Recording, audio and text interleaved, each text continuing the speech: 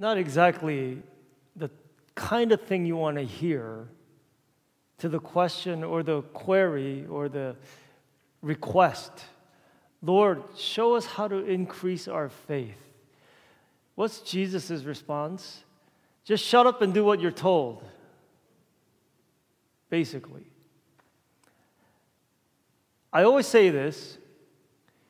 A lot of times people have problems with what the Bible says because it doesn't sit right with them. It just why couldn't Jesus be a little bit more nicer? His disciples come to him and say, Lord, we want to increase in our faith. And he says, You know, only if you had the faith of a mustard seed, you can do whatever you want. And then he says, You're unworthy servants. Just be, just be obedient. Just do your job. Do what you're told. And I'm sure as I'm saying this to you, some of you are probably feeling some angst right now um, as to why would Jesus approach the question in this manner? Why couldn't have been? Why couldn't have he been more like us in the way we would approach this? So I want to remind you again that to truly understand Scripture, you have to understand Scripture from the time that it was written, not from your perspective. Does that make sense?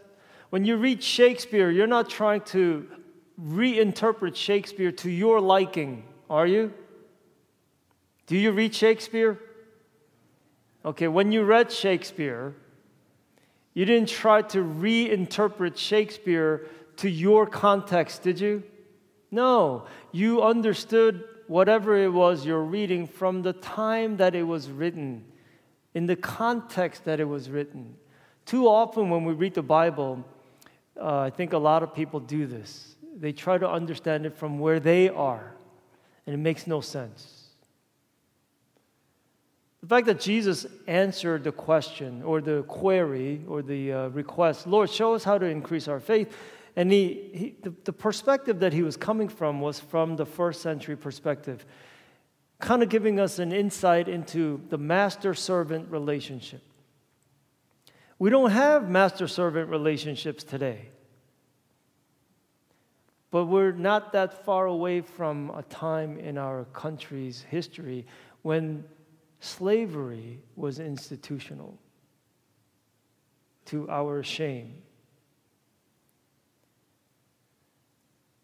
But today, we understand texts like this from our perspective, and it makes no sense. We have to understand it from their perspective, the time that it was written, when there were relationships between masters and servants. And masters came home, told the servants what to do, and they did it without gratitude, without appreciation, without so much as an acknowledgement of the gifts and graces that they bring. Today, this is foreign to us. We want to be recognized. We want to be acknowledged. We want to be applauded and patted on the back for a job well done. That's just not how it worked. Even though you may not like the fact that Jesus is very cold about this, he was just repeating, or rather, he's just pointing to how things were in his time. And he uses that as the basis of his teaching and that metaphor, applying it to faith. The message is very clear. You want to increase in your faith? Just do what I tell you to do. Do what I have commanded you to do. That's how you will increase your faith. But talking about increasing our faith, yeah, let's talk about that. Is that even a thing anymore?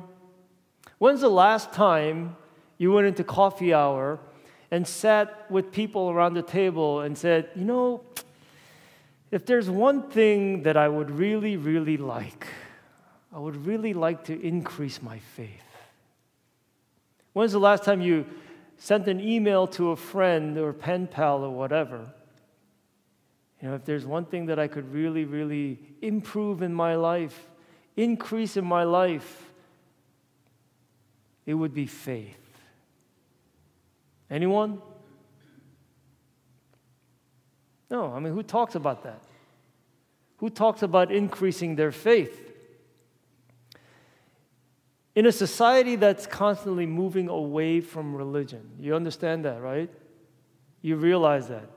We live in a society that we call a postmodern society that's moving away from religious expression. And we're looking for more practical, uh, scientific, if you will, expressions of reality. So we live in this time where we are moving away from religion. In our culture, people are not looking for faith. They're certainly not looking to increase their faith. So it's hard enough to get people to come to church. How can we even have a conversation about increasing our faith? So, this is a conversation that's pretty much limited to people who are already in church. It's really pointing to a deeper issue of the nature of the church today. What would increasing faith do? What does it mean to increase our faith? How do we increase our faith? And what are the ramifications and the consequences of doing so? Looking at our culture today, let me ask you a question. Generally speaking, when we talk about increasing something in our lives, what are we talking about? I'm sorry? Money. We want to increase in what? increase our wealth. What else? Well, yeah, that's part of wealth. What else do we want to seek to increase? What's all the political rhetoric about? Increasing our. Did you guys all watch the debates? What is that an example of? A display of what? Power. Yeah? We want to increase control and influence. When we, in our culture, in other words, in our society in general, when we talk about increasing anything, we're talking about increasing our wealth, our fame, our power, our influence, and on and on and on. And what I'm proposing to you is that in our faith, we practice similar ethics. Why would, why would we need to increase our uh, wealth? What's the reason behind that? Security. Who does it benefit primarily? Don't be shy, just yell it out. The self. When we talk about increasing our power in, the terms of, in terms of military power, who, who are we talking about here? Who does it benefit most? Ourself. Influence ourself and on and on and on. I think we take the same approach when we're talking about faith, increasing our faith in the, uh, in the general culture of the church. We're really talking about how it benefits us. To be more specific, how, it, how I can benefit by increasing my faith. Last week, I alluded to a conversation that I had with Tony Campolo and he called it the boring gospel. A gospel that only serves us. I am saved by the blood of the Lamb, and I am going to heaven, and I'm good. Period. Are you saved? Are you a Christian just because that affords you a way to get to heaven? Is that why faith matters to you? And if that's the case, we call that the boring gospel. But the living gospel, as we saw, talked about last week, is different. Personal spirituality and personal salvation is an embodiment of a consumer ethic. How do you stand to benefit? What do you stand to gain? What is in it for you? But the living gospel is entirely, entirely different. There's so much more to being a disciple than just going to heaven. Amen? There is so much more to being a disciple than just being saved. Amen? Increasing our faith is important, yes. But there's something more important than increasing our faith. So let me ask you, okay? Fill in the blanks. If increasing our faith is about our filling our own needs, what, how would you characterize filling others' needs?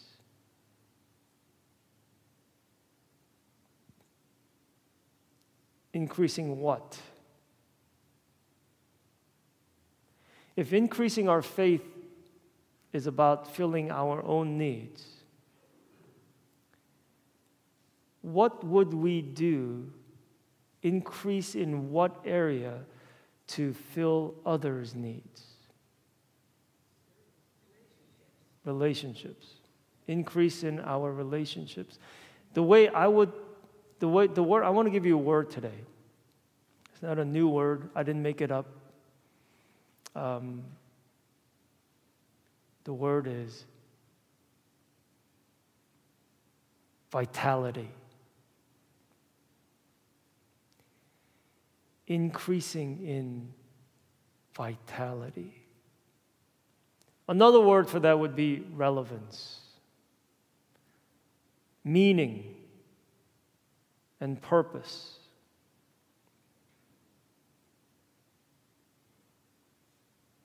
Instead of increasing or focusing on increasing our faith, what we need to increase is our vitality and our relevance.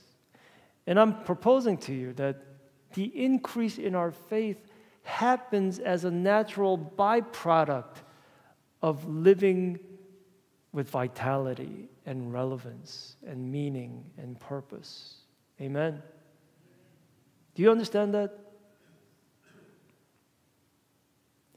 You know, I think the saddest thing that I've ever seen in my life, in my own personal life, was witnessing my father slowly wither away till he passed last year. But the withering away was not just physical. It had to do with vitality. My father retired from ministry in 2003. He went from one day being a man of purpose and meaning and vitality to next day having little or nothing to do. When a person loses their reason for being,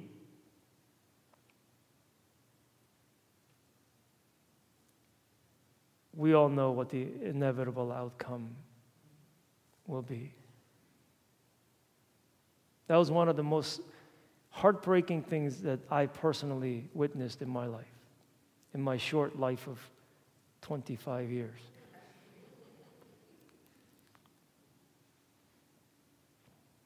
When a person or a church loses its purpose and meaning, i.e., vitality, we know what's going to happen. Increasing in vitality is where our hearts and our minds must be not focusing on increasing our faith as much, because as I just said, faith is a natural byproduct of vitality and meaning and purpose. Last week I talked about signs of life and signs of death. Do you remember? In the first service, I asked people, and I drew nothing but crickets. So let's see what your uh, power of recollection is and, and, and help me, you know, not kill you. What is the sign of life? When, when things are growing, when things are expanding, we call that what? Starts with P. Huh? Progress? No. No, not power. Proliferation. Life is characterized by proliferating. Things are growing when there's so much life. Like Dante, for example, he's a six year old kid. He has boundless energy. Where is it coming from? I don't know. Stop feeding him, maybe he'll slow down. But this boundless energy has to be expended. And if you give him a hammer and nail, you know, don't give him a hammer. Uh, but life is characterized by growth, expansion, proliferation. What is death characterized by? Say, let's stick with the letter P preservation. What happens when you step out into the cold and in really extreme cold? You know why your hands get so cold in the winter? Does, does that happen to you? You know what's happening there when you go out into the cold? Yeah, oh, the blood flow is not getting there. Why? Yeah, your body is trying to protect the core, keep your heart and your brain and your lungs going. You don't need fingers to survive, although they're nice. You don't need them to survive. Your body goes into preservation mode when you're dying. You understand that? The purpose of increasing our faith remember, I asked you a question what would we need to increase our faith for? Is to proliferate. And to proliferate, we need to focus not on increasing our faith, but increasing our vitality, increasing our meaning, understanding rather, of our meaning and purpose. Here's what I'm talking about. Tony mentioned this too a couple of weeks ago. Years and years ago, when people were living in rural communities, when there was a poor family or sick family or people in need, guess who stepped up to the plate? The church. About 150, 180 years ago, this country went through what we call the Industrial Revolution. And jobs that paid a lot more than a season of farming were being handed out in urban areas, in factories so, what did people do? They sold their land, they sold their farms, sold their homes, and move their families into urban areas where a population explosion occurred in our major cities. And it became too much for a single church or a single organization to care for everybody. So, guess what happened? The government the government took over. What do you think the churches said after that? Okay, thanks. Well, I guess then our job is done. In effect, the churches lost their reason for existence. Churches lost their meaning and purpose.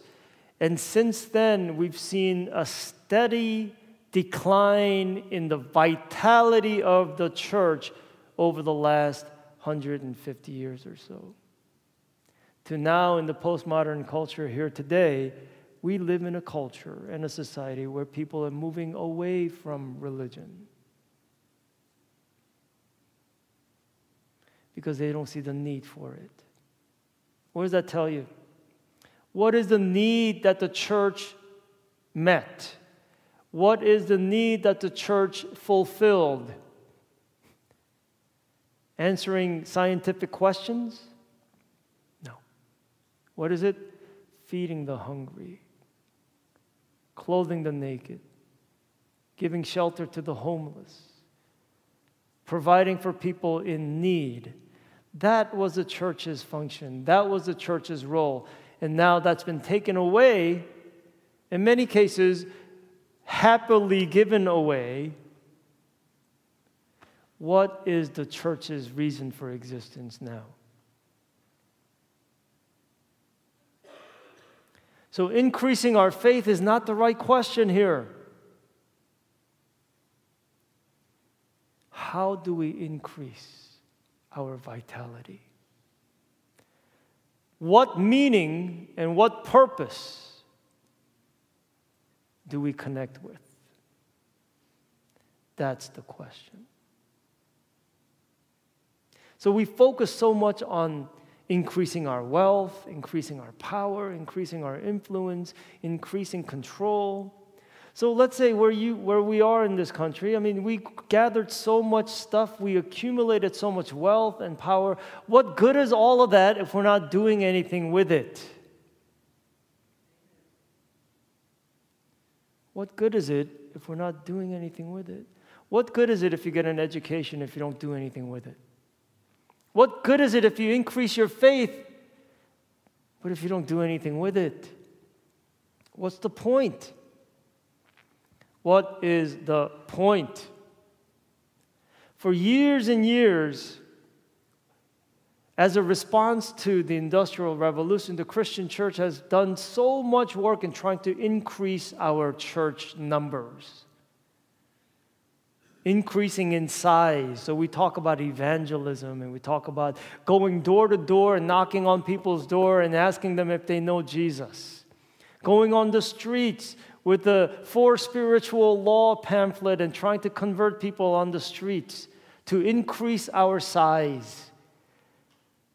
But what's the point of being the largest church in town if you're not transforming lives? If you're not changing people's lives? What point is there in doing and being that kind of a church?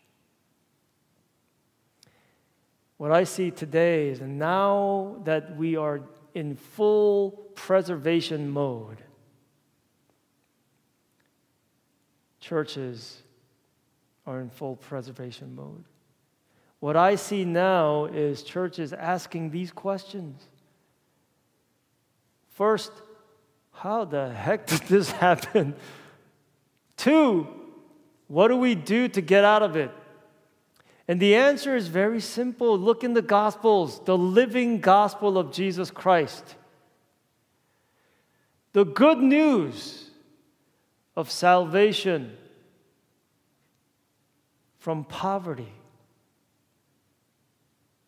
from oppression, from captivity, from blindness. And I don't mean literal blindness, although that could be part of it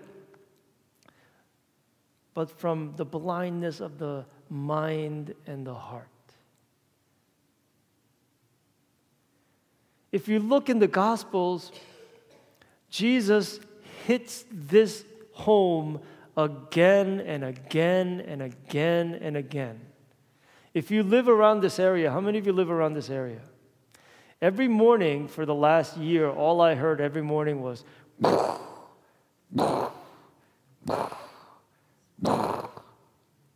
have you heard that? You know what that is?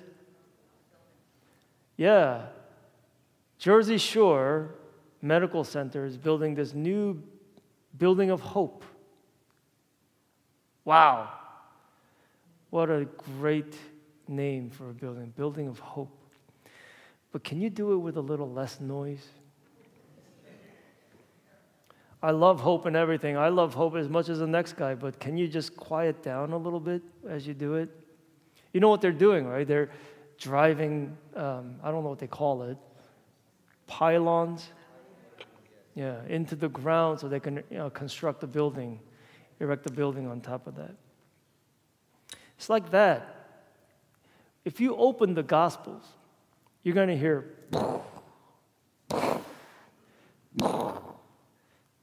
That's all you're going to hear. You know what that sound is? That's Jesus saying, That's Jesus. you know what's coming, right? If you don't want to hear it, just go like this.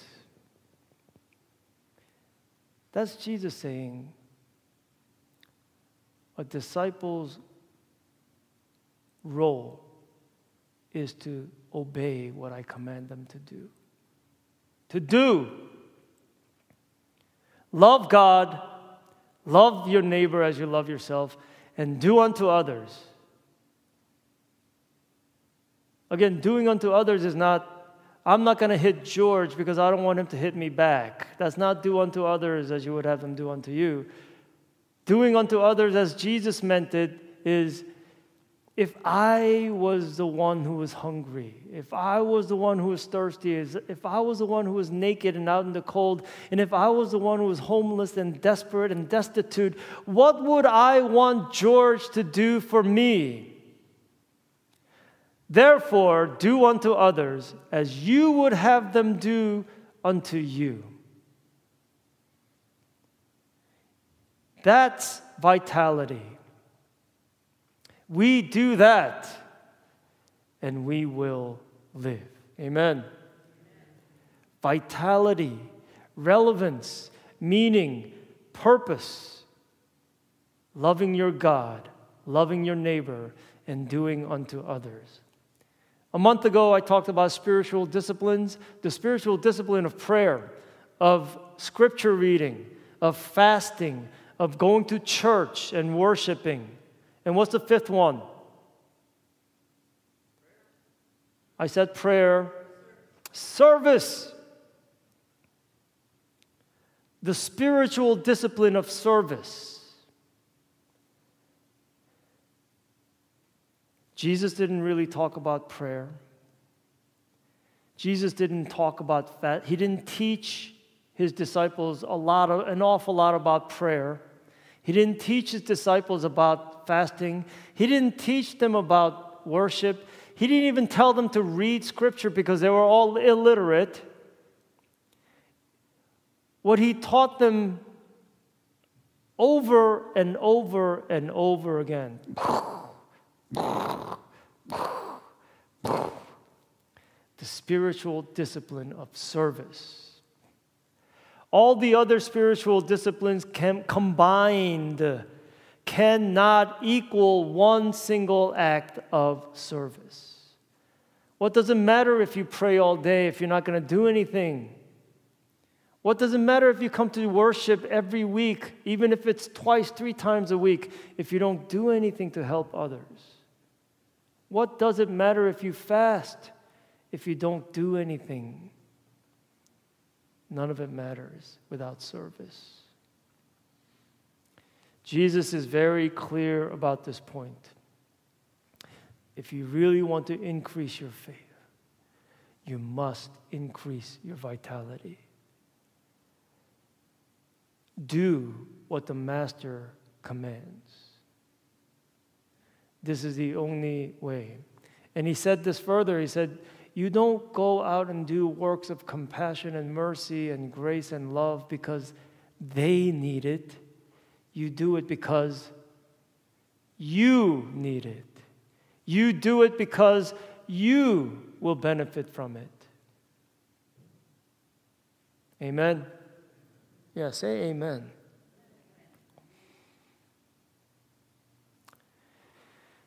Why do we ignore that and continue to seek these other methods of increasing our faith? Watching a televangelist, I hate to break it to you, watching a televangelist is not going to increase your faith. You can watch them all, not going to increase your faith one single act of compassion and mercy, that will increase not only your faith, but first increase your vitality, your meaning and purpose for why you're here. You want to increase your faith? Love God, love your neighbor, and do unto others. Increase in vitality.